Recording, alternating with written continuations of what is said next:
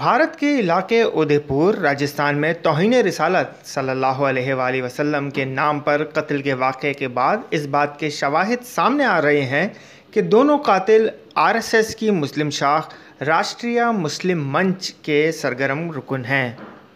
जिस तरह अजमल कसाब को मुंबई हमलों में इस्तेमाल किया गया था, बिल्कुल उसी तरह इस वाक़े में दोनों मुसलमानों को इस्तेमाल किया गया है।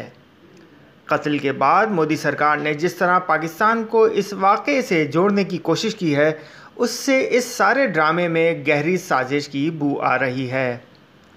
हिंदुस्तानी मीडिया कातिल रियाज अत्तारी और कौज बख्श अत्तारी को पाकिस्तान में कायम इस्लामी ग्रुप और दाइश से जोड़ने की भरपूर कोशिश कर रहा है।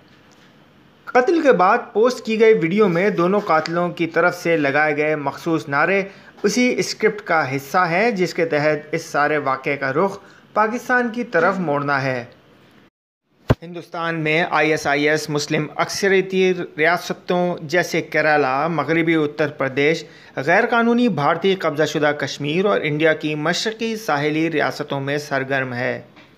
आरएसएस की अपनी झेली शाखें हैं, जिसे राष्ट्रीय मुस्लिम मंच, राष्ट्रीय सिख संगत और राष्ट्रीय ईसाई मंच, ये तंजीमें आरएसएस के नज़रिए की तरवीज में मदद करती हैं।